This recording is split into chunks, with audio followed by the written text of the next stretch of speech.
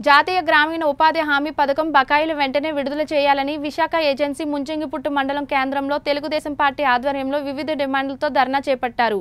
ఈ నిరసనలో Telugudesam party Araku parliament organisation secretary Pangi Shastribabu హాజరయ్యారు. గతంలో ఇచ్చిన ఇందిరమ్మ ఎన్టీఆర్ గృహాల బకాయి బిల్లులను చెల్లించి గత ప్రభుత్వం అమలు చేసిన సంక్షేమ పథకాలను కొనసాగించాలని లెటరైట్ ముసుగులో బాక్సైట్ తవ్వకాలు ఆపాలని జీవో నెంబర్ త్రీను అమలు చేసిన గిరిజన ఆదివాసీ నిరుద్యోగులకు ఉపాధి కల్పించాలని శాస్త్రిబాబు అన్నారు. మండల కేంద్రంలో గల సిహెచ్సిలో పూర్తి స్థాయిలో వైద్య సిబ్బంది నియమిస్తూ మారుమూల గ్రామాల్లో మెడికల్ క్యాంపులు ఏర్పాటు చేయాలని ఈ సందర్భంగా ప్రభుత్వానికి డిమాండ్ చేశారు. రాష్ట్ర వ్యాప్తంగా ఎన్ఆర్జిఎస్ జాతీయ గ్రామీణ ఉపాధి హామీ పథకం ద్వారా పనిచేసినటువంటి లబ్ధిదారులందరికీ కూడా బకాయిలు విపరీతంగా ఉంది. రాష్ట్రం మొత్తం సుమారుగా నూట యాభై కోట్లు పైనే బకాయిలు ఉన్నాయి.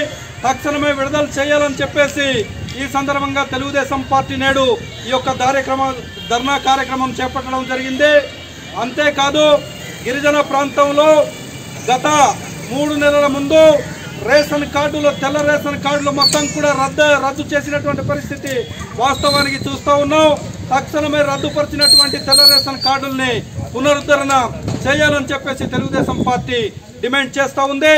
అలాగే మొన్నటికి మొన్న తూర్పుగోదావరి జిల్లా విశాఖ సరిహద్దుల్లో లేటరైట్ ముసుగులో బాక్సైట్ తవ్వకాలు జరుగుతూ ఉన్నాయి. అదే అదే కాదు గిరిజన ప్రాంతమైనటువంటి అరకువేలి ప్రాంతంలో అనంతగిరి ప్రాంతంలో కూడా ఈ యొక్క లెటరైట్ ముసుగులో బాక్సైట్ తవ్వకాలు జరిపేటటువంటి పరిస్థితి ఈ యొక్క వైఎస్ఆర్ ప్రభుత్వం చేస్తూ ఉంది. కాబట్టి ముసుగులో బాక్సైట్ తవ్వకాలు వెంటనే ఆపాలని చెప్పేసి తెలుగుదేశం పార్టీగా డిమాండ్ చేస్తూ ఉన్నాం. అంతేకాదు గిరిజన ప్రాంతంలో జీవో నెంబర్ ఏదైతే ఉందో జీవో నెంబర్ని తక్షణమే అమలు చేయాలా? గిరిజన ప్రాంతంలో ఉన్న ఏదైతే నిరుద్యోగ సమస్య ఉందో వాళ్ళందరూ కూడా తక్షణమే ఉపాధి కల్పించాలని చెప్పేసి తెలుగుదేశం పార్టీ డిమాండ్ చేస్తూ ఉంది. నేడు ఈ రోజుకి వైఎస్ఆర్ పార్టీ వచ్చి రెండు సంవత్సరాలు గడిపినా సరే ఈరోజు ఇచ్చినటువంటి హామీలు ఒక్క హామీ నెరవేర్చలేదు.